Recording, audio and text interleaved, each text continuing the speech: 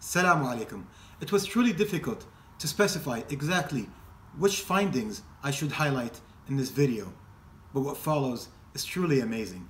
Brace yourself for the amazing new mathematical discoveries in the greatest chapter in the Quran.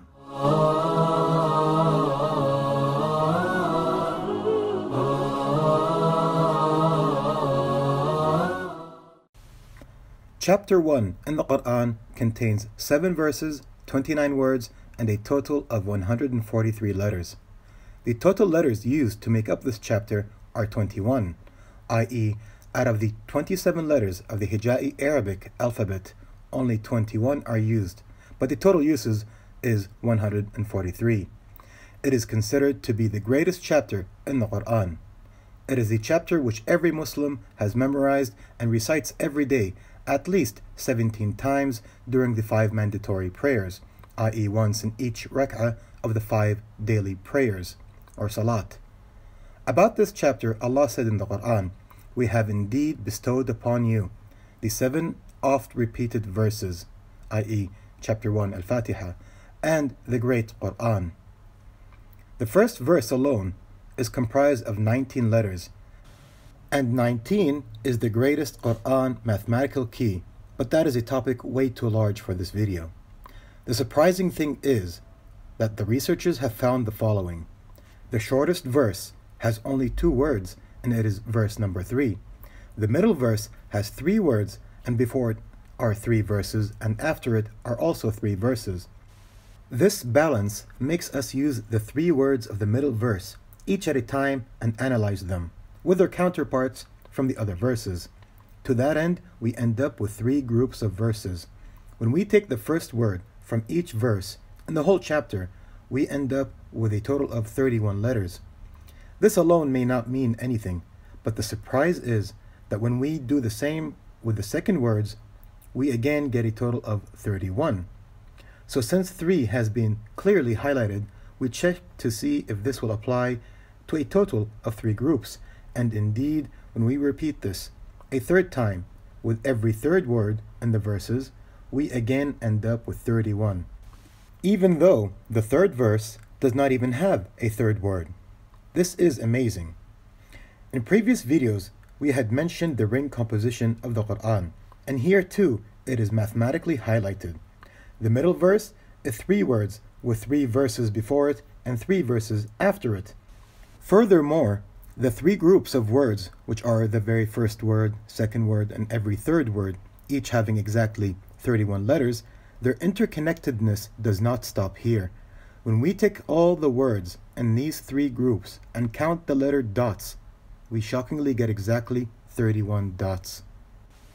We already said that the number 3 had been highlighted so clearly. Then we notice that this entire chapter mentions three different names of Allah subhanahu wa ta'ala, and in total, these three names repeated six times in three verses, i.e., each one repeated twice.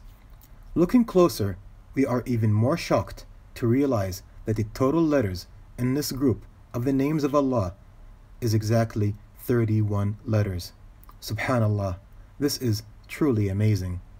All of this makes us look at the 31st verse from the start of the Quran, which is verse 24 in chapter 2. And this 31st verse from the start of the Quran has letter dots, the total of which is exactly 31 dots. And remember, the dotting of the letters came later on to help non-Arabs distinguish the letters. If we stopped here, this would be more than enough to think about, but there's so much more.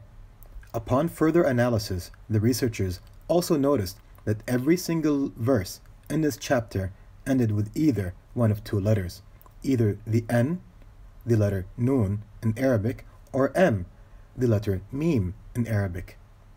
The letter M is the 24th letter in the common Hija'i alphabetic order, and the letter N is the letter 25. The total sum for this is 49, which equals 7 times 7, and 7 is the number of verses in this chapter. 7 is also one of the main keys in the mathematics of the Quran. Looking even closer, we find that the total number of words that ended with the letter M or N are exactly 14 words, which is 7 plus 7, or even 7 times 2 since they are two letters.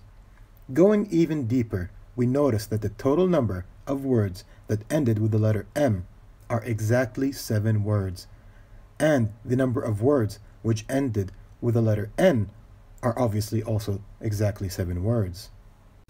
This is truly miraculous, and think about it. But for now, we should remember that this chapter was referred to by Allah as the seven oft repeated verses. So let's go to that verse. And shockingly, it contains seven words. The even more shocking thing is that the middle word in this verse in the Quran, which mentions chapter 1 and calls it the seven oft repeated verses, is comprised of only two letters, and they are M and N. Even more stunning is that the letter M repeated in this verse three times, and the verses in chapter 1 that ended with the letter M are also three. This is already beyond human comprehension. But we move on and see that the letter N repeated in this verse four times, and chapter 1, which this verse is talking about, the verses in it that ended with the letter N are also four. This is mind boggling. And to top it all off, you can obviously make out that the total repetitions for both letters M and N in this verse again gives us 7. And do not forget to also notice that just like chapter 1 had a ring composition based on the number 3, this verse about chapter 1 also has a ring composition based on the number 3, with three words before and three words after its middle word, which is a two letter word made out of the N and M, and we've already discussed how the harmony of the code between these two letters fits between chapter 1 and this verse, which is about chapter 1. Okay, before moving on, we simply must step back, take a breath, and let this sink in. The Prophet Muhammad والسلام, was illiterate and could neither read nor write, yet in the Quran, the mathematical connection between the verse that refers to this chapter and the chapter itself are shockingly harmonious. Chapter 1 has seven verses, and this verse has seven words. Chapter 1 has three verses ending with the letter M, and this verse about it has three M's. The chapter has four verses ending with N, and this verse about it has four N's. And both this verse and the chapter revolve dramatically and concretely around the number 7. But that's not all, so let's keep going. This verse has a total of 21 letter dots, which is 7 times 3, we have already seen how 3 and 7 are repeatedly highlighted in the chapter, which this verse is referring to. And to top this all off, and shockingly, 21 is also the total number of letters from the alphabet that make up chapter 1. Can words really describe this amazingly perfect mathematical code? Brace yourself for yet another stunning discovery. As we said, Allah in the Quran called chapter 1, titled Al Fatiha, the oft repeated seven. In Arabic, Sab'an min al Mathani. The letters that make up this phrase in Arabic repeated in the chapter they are referring to, which we said is chapter 1, the following number of times. For each letter as shown in this chart. So the total repetitions for the letters of this phrase, Sab'an min al Mathani, in the chapter they are referring to is 179. But what is 179? 179 is the exact number you get when you add the number of verses plus the number of words and the number of letters in chapter 1. This is truly and shockingly miraculous. But it simply just does not end.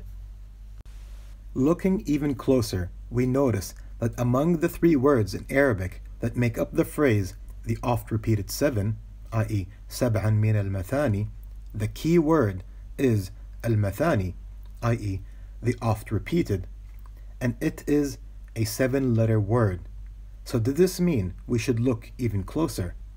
We do, and when we make the same chart with just the word al-mathani, we get this. And shockingly, the total is 114, which is the number of chapters in the Quran and a main numerical Quran mathematical key. This also highlights that while chapter 1 is especially oft repeated, the entire Quran is also oft repeated. In fact, no book on earth comes close to how often the Quran is repeatedly read. One of the reasons that chapter 1 is considered the greatest chapter is its interconnectedness with the rest of the Quran and the fact that the vast majority of the Quran revolves around what these seven verses are about. But that's a topic for another video. Moving on, the first verse in this chapter is also the first verse in the Quran and it starts with the letter B. The total number of verses in the entire Quran which start with the letter B are exactly 63 and 63 is the age of the Prophet Muhammad We can also go further, but for the sake of this video, we must remain brief. We have mentioned the connection of chapter 1 with the rest of the Quran, and here is just one example out of many regarding this remarkable mathematical discovery. We have seen that the number 7 was dominantly highlighted in chapter 1, and when we look at the name of chapter 7 in the Quran, it is Al-A'raf. Surprisingly, the letters that make up the name of chapter 7 appear in chapter 1 114 times, which is the total number of chapters in the Quran and a main key in Quran mathematics. Furthermore, chapter 1, titled Al-Fatiha, and chapter 7, Al-A'raf, are both seven letter words. The mathematical harmony is truly endless. Do review what we have covered and go back to seriously think about these incredible and miraculous findings.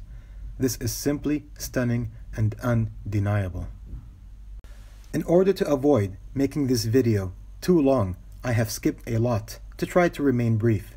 And for more about this topic, please look forward to my book, which I should release sometime this year, inshallah. And as always, if you like this video, and it truly helps a lot. Hit the subscribe button, give it a thumbs up, share it with your friends, and until next time, Assalamu alaikum.